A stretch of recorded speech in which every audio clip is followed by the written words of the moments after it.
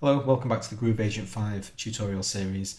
Uh, we're carrying on our examination of envelopes and today we're talking about the filter envelope page. And I thought we'd have a little bit of uh, fun with this one rather than just me like showing you the vanilla filter settings. I'll actually play with a loop and do some like semi-realistic uh, filter work on it. So I've chosen this loop here.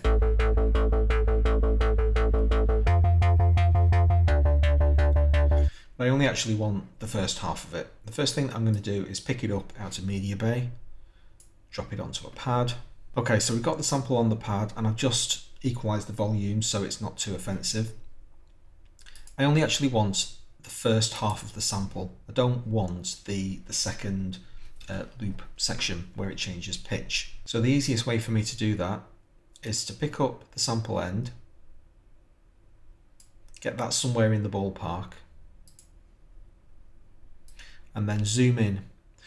And you see when I started to zoom in, I selected the play line. Wherever you've got your play line currently set to, that's where Groove Agent will zoom. So if I select near the sample start, then I can zoom in, make sure that my sample start is exactly how I want it to be. Then I can zoom back out again. And now that I've set my sample end, put it in loop mode. And by default, the loop end will jump to the sample end. And so now when I play this pad, it's going to give me exactly the effect I want. It's just going to loop around the first half of this larger loop.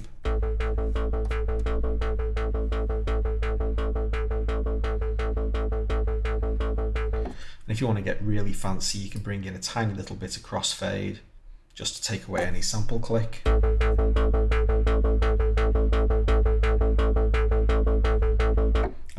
Pretty good.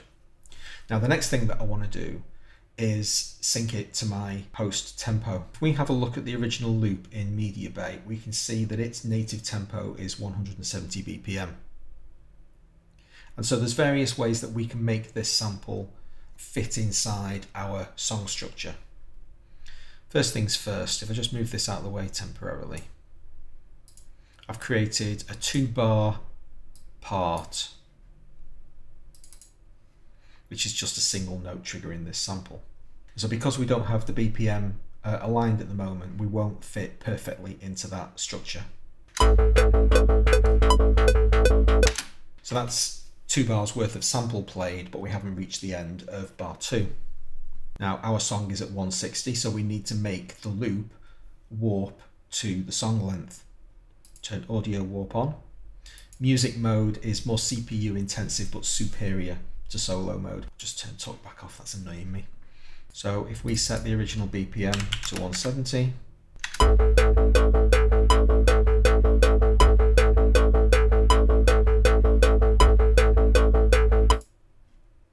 we could also have done it in beats and that would give us the same result.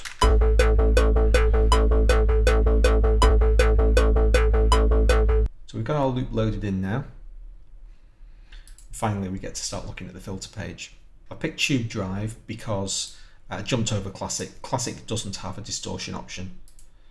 Tube Drive does. So these are just different saturation levels. Be very careful when you pick bit reduction. It's absolutely brutal. But we'll start off with Tube Drive and let's get it running.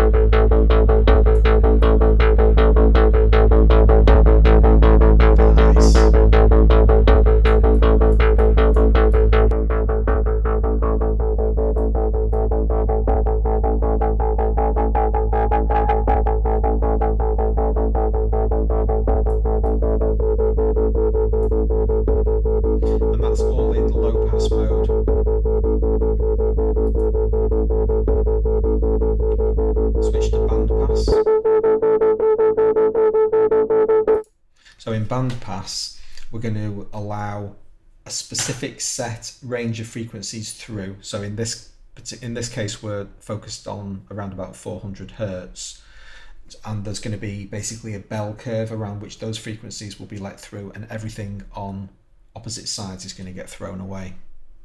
So set the cutoff to 2K. And there we can see at 2K, there's our peak.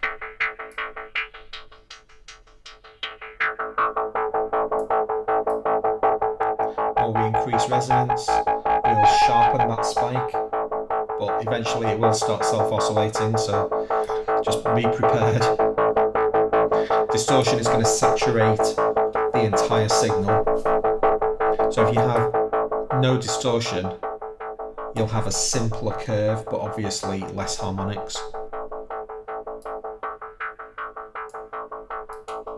In high pass, when the knob's turned all the way up, you've basically thrown all of the sound away. And as we pull the knob back, we start to reintroduce low frequencies. So everything lower than 22k is what's in the audible range. And here you can see and hear the sound starting to come back to us.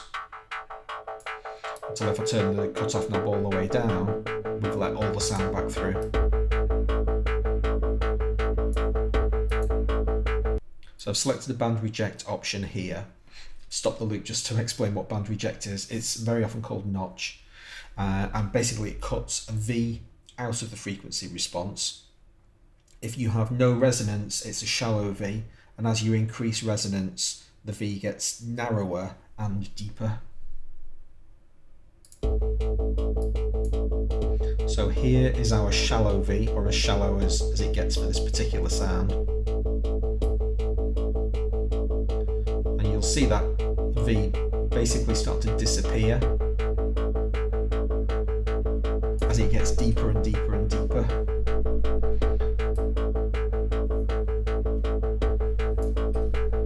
Now it's so narrow at this point and the, the sound itself is so rich, you're basically not hearing it anymore.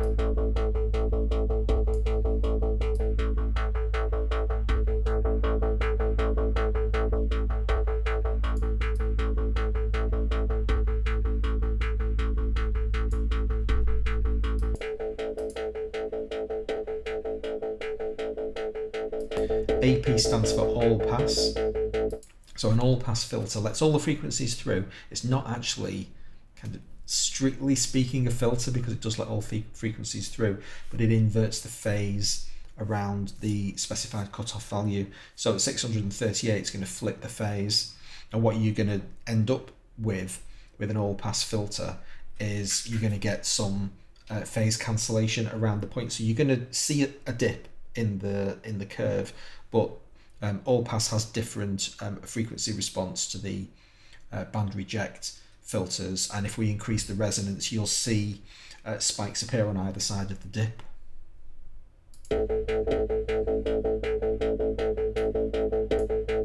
So there's our there's our cutaway.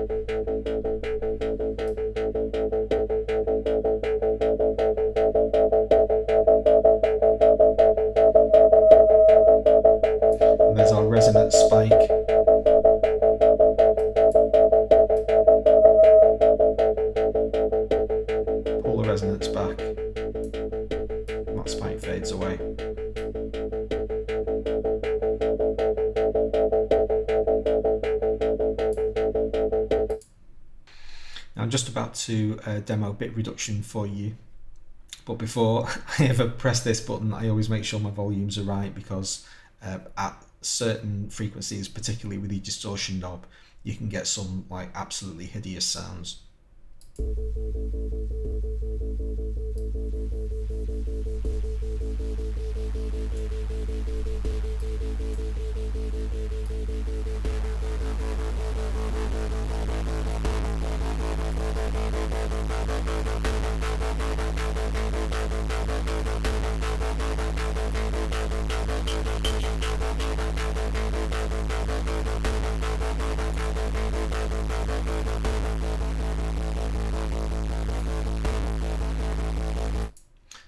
Caution. Okay, so all of that is basic filter settings. Now let's have a look at tying some of that stuff to our envelope. So I've just got us back to a regular tube drive, low pass 24, 24 decibels per octave attenuation around the cutoff value. So here we have a cutoff value of 4905, which means at somewhere in the region of 10k, you're thrown away 24 decibels of sound, and at 20k, another 24 decibels, and so on and so on. So it's the curve, it's the rate at which um, frequencies are thrown away. Let's start drawing some stuff with our filter.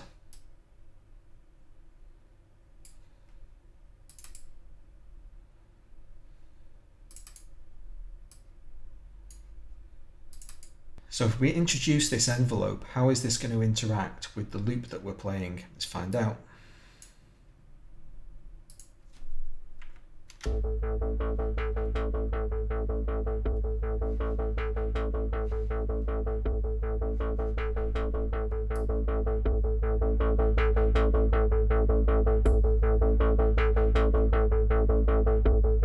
We're, we're not even getting to halfway through the envelope before the loop's finished its full iteration.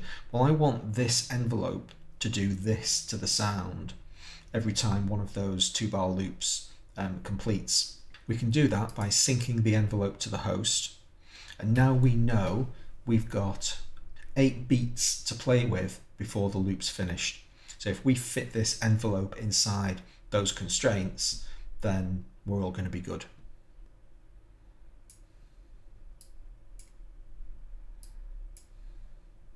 So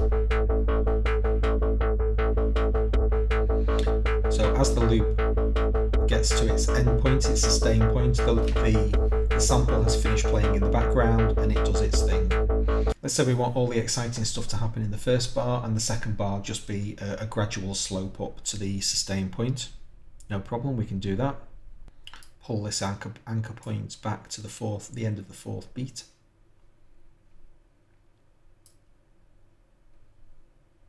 Sustain out to 8. Let's see what that sounds like. And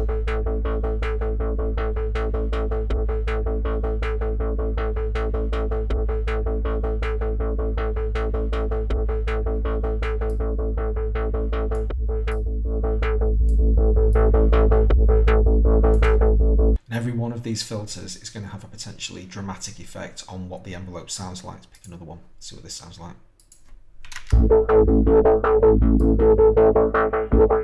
Thank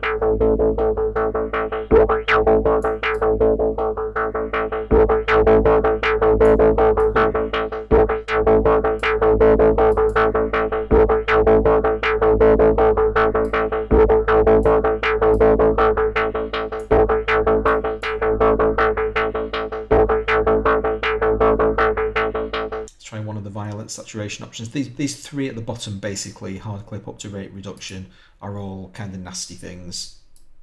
They do nasty things to your sound.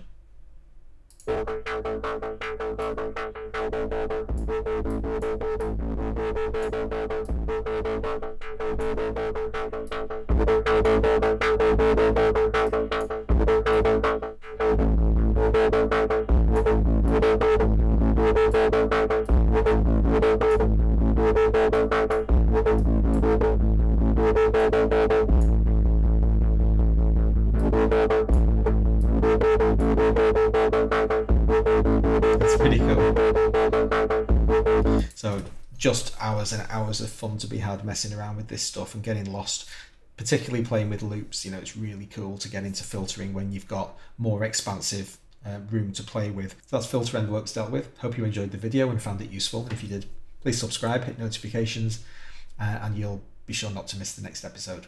Hope to see you there. Thanks a lot